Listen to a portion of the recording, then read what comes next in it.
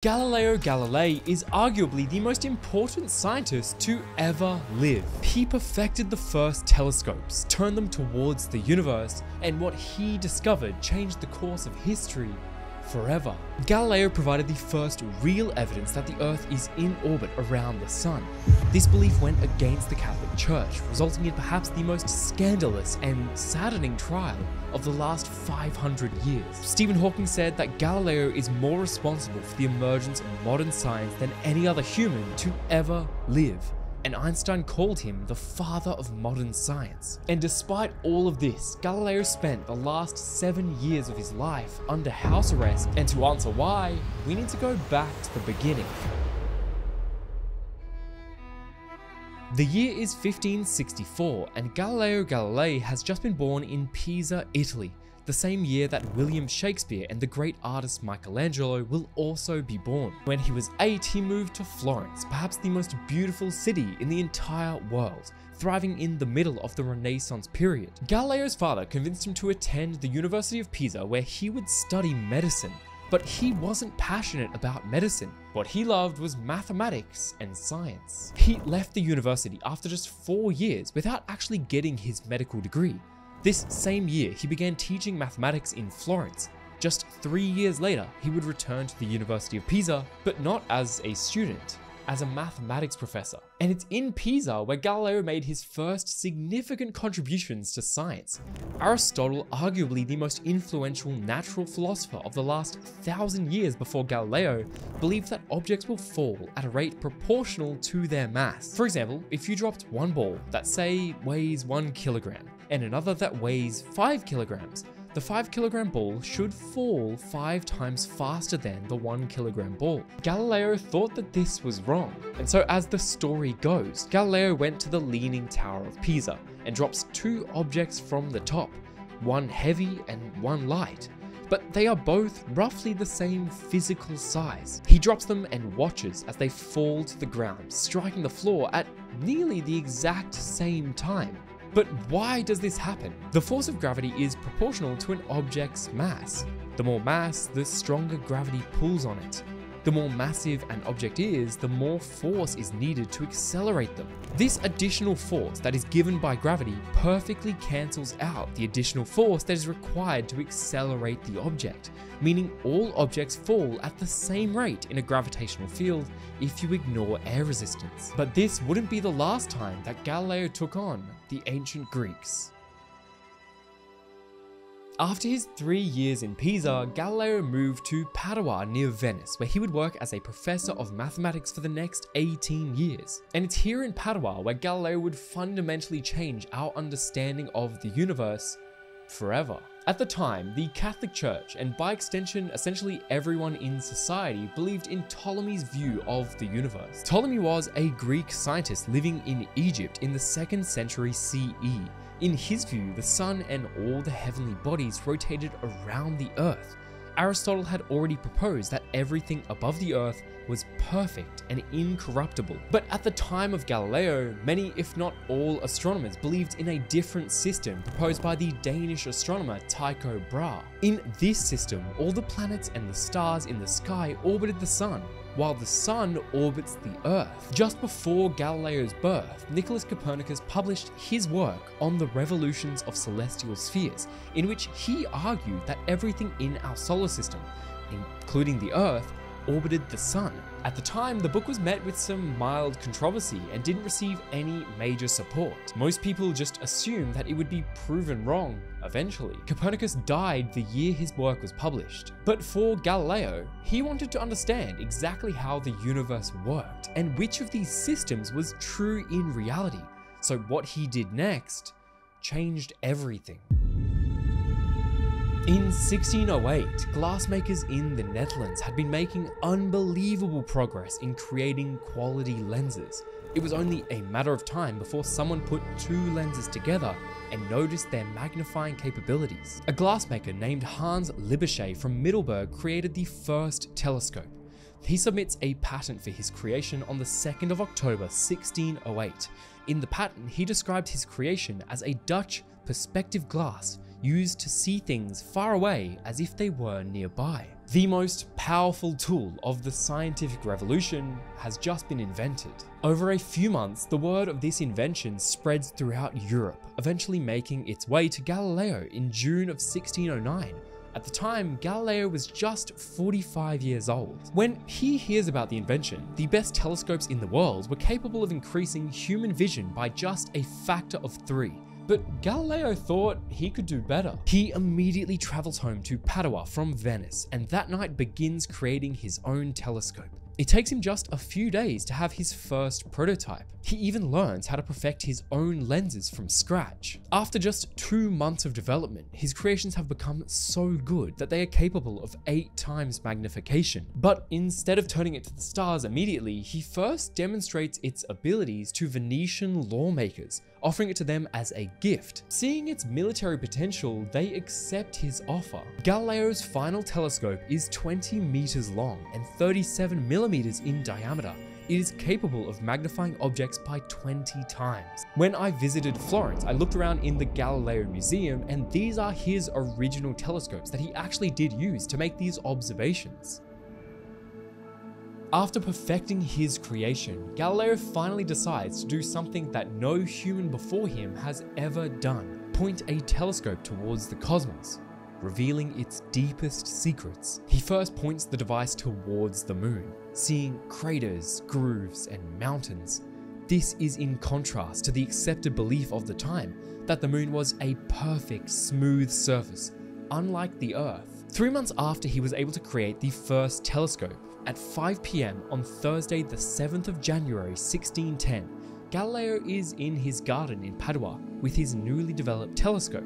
He is about to change the course of history forever by doing something that seems really simple pointing his telescope at Jupiter for the first time in history. Galileo sees three fixed stars that are extremely close to Jupiter.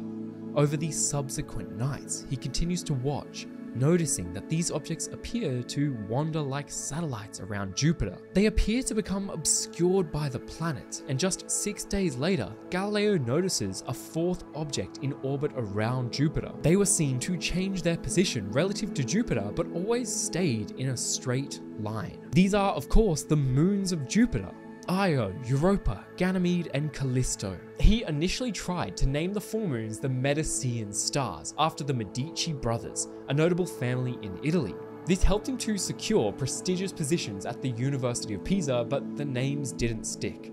These moons of Jupiter would forever be known as the Galilean moons. He published these findings along with his observations of the moon in a short book titled Sidereus Nuncius. This translates to the Starry Messenger, and the results were not received well. People believe that his lenses were defective and what he was seeing was simply an illusion. Aristotle had described the cosmos as being filled with these perfect, unchanging bodies. God had made a perfect universe. Who was Galileo to say that he didn't? And if everything in the universe was supposed to be orbiting the Earth, how could there be moons orbiting Jupiter? The people this offended the most the Catholic Church.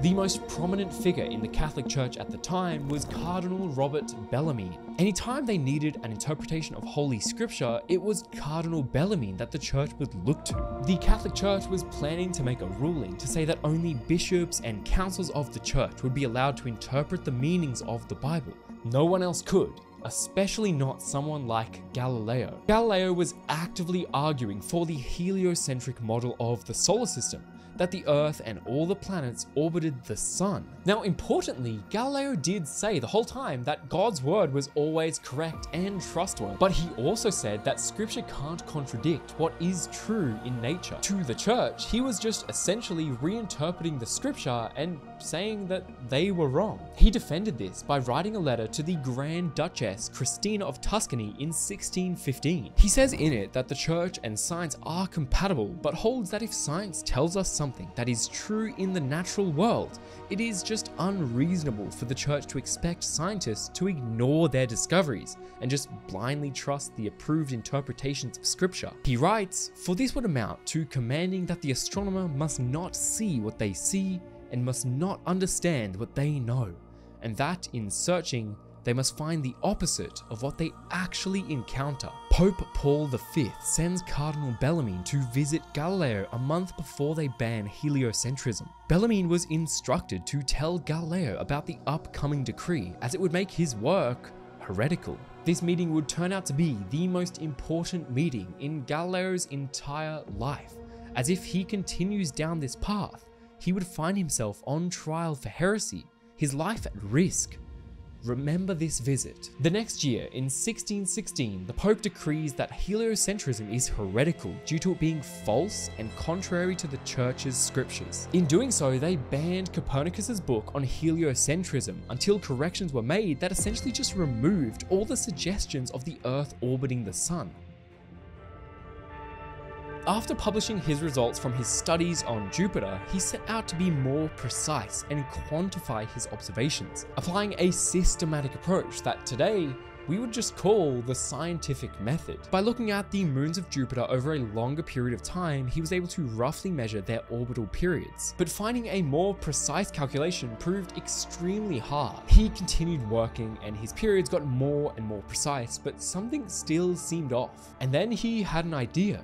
Maybe the orbits he was measuring seemed to be inaccurate because the Earth is in orbit around the Sun. By accounting for the motion of the Earth revolving around the Sun, his problems were solved. This discovery did not hold with the principles of Aristotelian cosmology. Many astronomers and philosophers just refused to believe that a man like Galileo would be capable of making such a momentous discovery. But Galileo had done it, and he didn't stop there. He pointed his telescope towards Venus, and it was showing phases similar to those that we see the moon going through each month.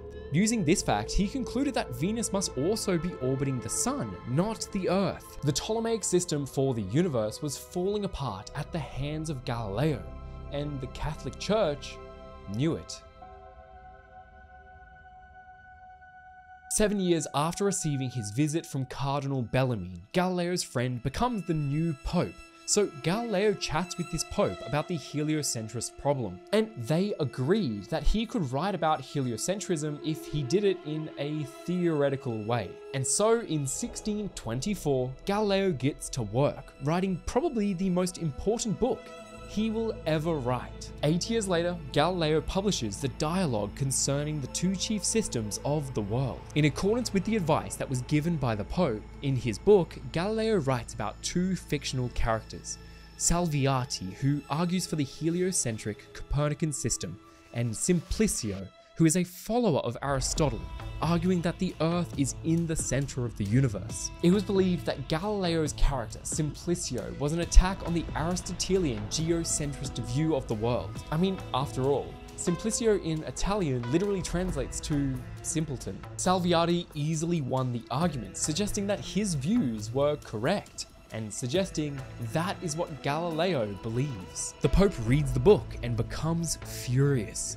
The Roman Inquisition bans the sales of his book and calls him to trial in 1633 for heresy. At the time, Galileo was nearly 70 years old and extremely unwell.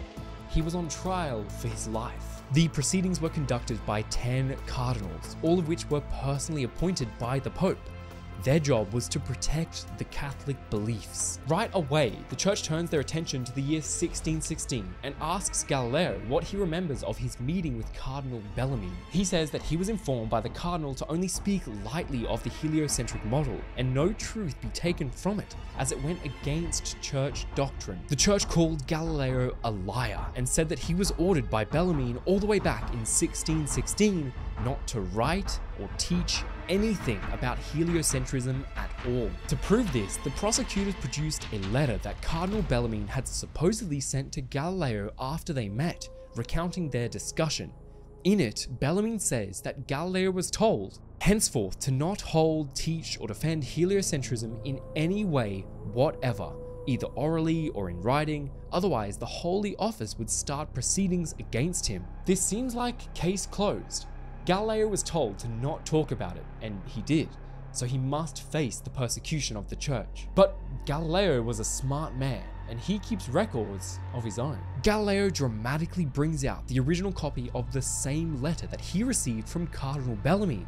This one was written by Bellarmine and signed by the man himself. The Roman Inquisition didn't know that Galileo still had this letter, and this is where things get interesting. The letters were not the same. In fact, they had one major difference. Galileo's original copy of the letter didn't say that Galileo was ordered to not talk or write about heliocentrism in any way whatsoever, or he will be persecuted. Galileo's letter just says that heliocentrism is wrong and shouldn't be explicitly advocated for. And since the dialogue was a fictional story, he broke no rules. The entire trial relied on this letter, and somewhat suspiciously, the church's copy just happened to have this one key addition that they were using to convict Galileo of heresy. Some scholars have suggested that the church faked their letter to bring down Galileo and maintain their worldview, preventing the church from losing more followers. But I'll leave that up to you to decide. To make things worse, the court asked Galileo whether he had received an imprimatur for the dialogue. This is essentially a seal given by the church to certify that there is nothing contrary to Catholic faith. And Galileo had received not just one, but two imprimaturs for his book. The church had brought to trial someone who had written a book that the church themselves had approved of. This trial continued for weeks. Towards the end of the trial, Galileo was interrogated harshly and threatened with torture if he did not tell the truth. The case against Galileo was weak, and there were many parties who wanted it to end quickly. Galileo's health was deteriorating, so the prosecutor struck a deal with him. He would plead guilty to some minor offense in writing his book for a lighter sentence. Galileo would keep his life, and they found him vehemently suspect of heresy for his opinion that the sun is at the center of the universe. He was sentenced to live under house arrest for the rest of his days. Galileo's book was banned, and all of his published works and anything else that he might write was also prohibited he did eventually decide to write again, writing a book called Discourses and Mathematical Demonstrations concerning the two new sciences. This book summarized much of his work over the last 40 years, and it was smuggled out of Italy to Holland where it was then published. Einstein highly praised this work, and it's the reason that many people consider Galileo to be the father of modern day science. He didn't suffer in prison, tortured for years, but his physical and intellectual freedom was imprisoned by the Catholic Church until on January 8, 1642, he finally passed away in his home. The Grand Duke of Tuscany wanted Galileo to be buried in the Basilica of Santa Croce, but when he was condemned by the Catholic Church for heresy, he was instead buried in a small room next to the novices' chapel at the end of a hallway. Nearly 100 years later, he was moved to the main body of the basilica, and during this move, three fingers and a tooth were removed, which are now on display in the Galileo Museum in Florence. In 1718, they finally lifted the ban on reprinting all of Galileo's work, with the exception of the dialogue. It wasn't until 1835, 200 years after Galileo wrote the dialogue, that the ban was finally lifted. Galileo was locked up for supposedly ignoring an order that he very well may have never received. But even if he did receive it, it was unjust. The church was telling the astronomer to ignore the true nature of the universe and just blindly follow what they deemed to be correct. And if he and all of us scientists did as they wish, I'm sure we would know nearly nothing about the universe today. In the questions of science, the authority of a thousand is not worth the humble reasoning of a single individual.